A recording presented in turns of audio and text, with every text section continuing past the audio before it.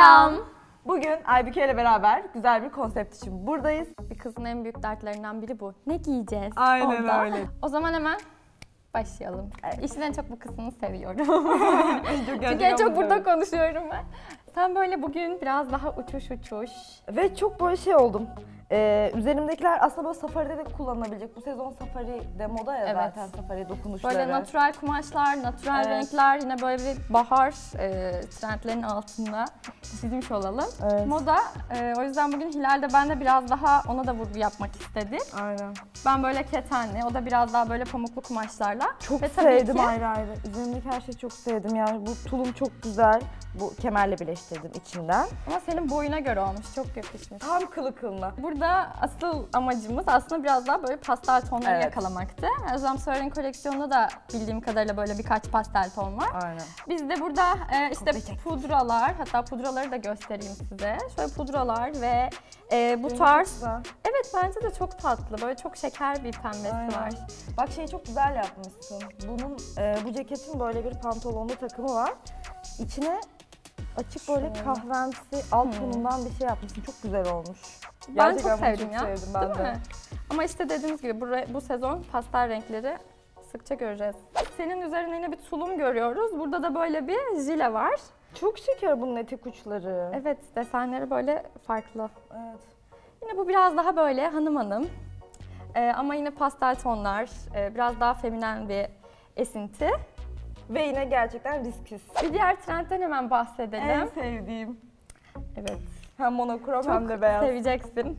Bu sezon oldukça çok böyle beyazlar göreceğiz. Yani bembeyaz kombinler. evet, özellikle ben hani bir de böyle altına beyaz spor ayakkabıyla Evet. çok yakıştırıyorum bu tarzı. Biraz da böyle insanı açıyor. Evet. Ge- ge- gerçekten ben çok iyi hissediyorum. Çok fazla böyle bembeyaz giydiğim oluyor. İnsanın böyle yüzüne bir ışık veriyor. Değil mi? Ve o böyle insanı daha canlı gösteriyor. Şey, melek gibi görünüyorsunuz yalan. Bunun bir dakika ceketine bir bakayım. Ceket çok Yalnız. Hilal hep ben senin elinden kapıyorum bunları. Şu ceketin Aybüke konuşurken bu arkasına bakıyorum. Aybüke dizdi bunları. Ben şimdi yeni bakıyorum. Çok güzelmiş bu ceket. evet birazcık daha farklı blazer'a yeni bir soluk. Aa, bayağı sevdim. Ben bunu giyerim. Hatta bir Sen şey diyeyim, bunu da tercih edebilirim. Ee, muhtemelen sneaker giyerim ama böyle farklı topuklu bir çizme de olabilir. Şal. Çünkü bak beyaz mesela Ben beyaz kesin tas- beyaz şeylerde takarım. kombinlerde en çok böyle düşünülen şey şal oluyor. Diyor Şal, ki evet. bembeyaz olsam böyle çok böyle farklı görünür? Aynen. Bir Belki de beyaz şal takmaya biraz çekiniyoruz galiba. Evet sen kesin pastel takardın. Ben de kesin aynı içime giydiğim tonla devam eden bir beyaz şal, krem rengi beyaz şal takardım. diyorsun. Evet.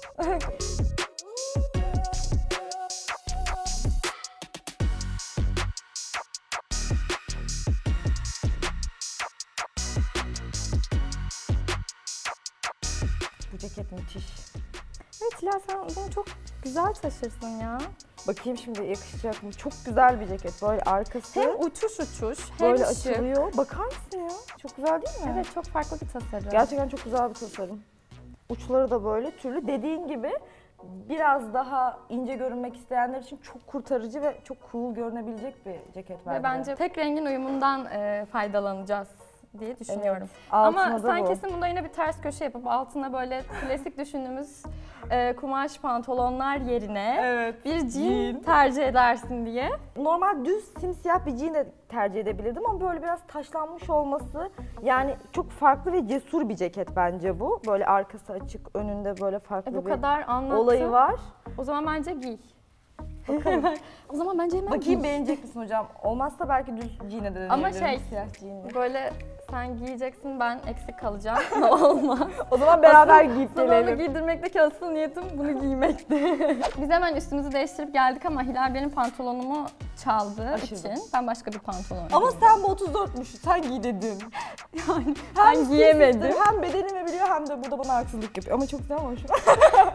Hemen yakaladım tabii. çok acayip sevdim bu pantolonun kalıbını. Benim miydi bunun markası?